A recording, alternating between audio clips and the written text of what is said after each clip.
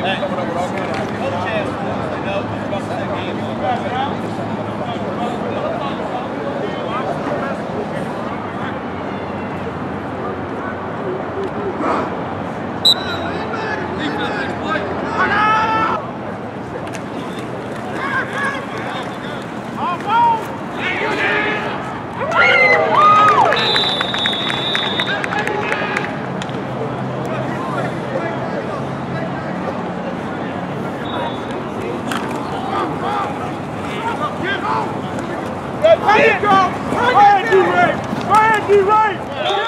Well, the way we moved the ball, that's what we worked on all summer. And so we executed, we tried to be physical up front, and that's what we did up there.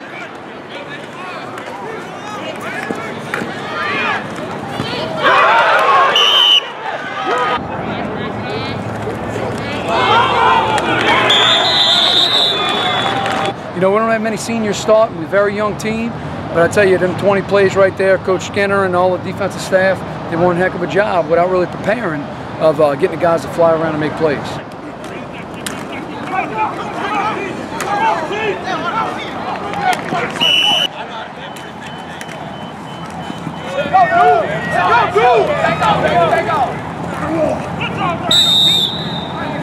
At first we had a slow start, but um, coach came in, hyped us up, told us we want to be physical, physical. We got hyped up and then we just moved the ball downfield.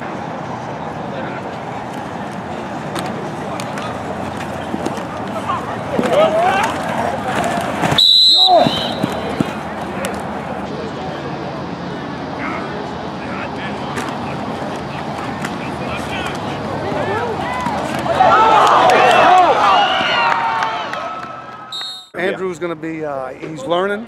You know, in, in, this offense, he's making calls on the line, at the line, so it's, it's different for him. Like I said, it's only been two months, so he's going to improve, um, and he's the leader of the team, no doubt.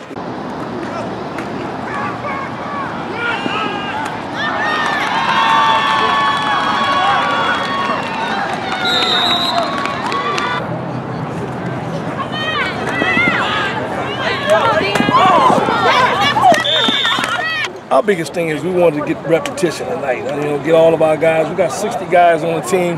Trying to get everybody some reps. Trying to develop a little depth.